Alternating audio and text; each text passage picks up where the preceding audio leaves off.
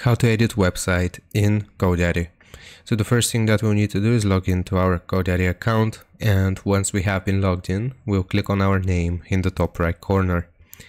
Now here we will select the option for my products and it's going to load up a list of all of our GoDaddy purchases here. Now we want to focus on websites plus marketing and if you have multiple ones like I have here with the trial, you want to click on manage for this one if you have it. Websites plus marketing e-commerce free trial. So the second one or however many you have the last one. So just click on manage.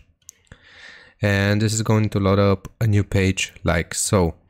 If you want to edit your website or access the website editor on GoDaddy here you will see your website draft and we can click on edit website.